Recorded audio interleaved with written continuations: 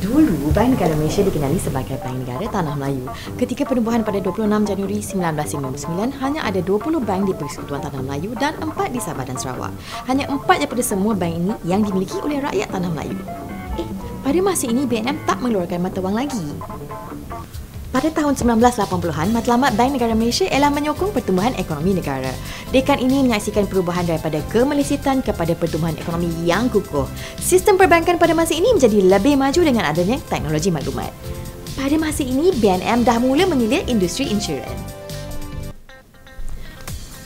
Menjelang era milenium, ekonomi Malaysia menjadi kian mampan. Setelah melalui pelbagai krisis pada dekad 1990-an, Bank Negara Malaysia mengatur rancangan pemulihan ekonomi negara dengan memperkenalkan pelbagai sistem baru selain mewujudkan check dan balance untuk memastikan krisis-krisis sebelum ini tak berulang lagi. Kualiti penyelesaian perbankan juga ditingkatkan mengikut standard piawaian antarabangsa.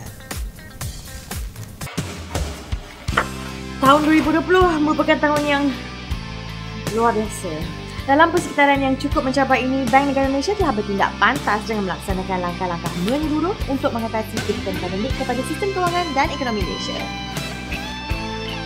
Kini, setelah 65 tahun, Bank Negara Malaysia setia menjalankan amanah dalam memastikan kestabilan monetary dan kewangan negara dalam apa jua keadaan. Selamat ulang tahun ke-65 Bank Negara Malaysia.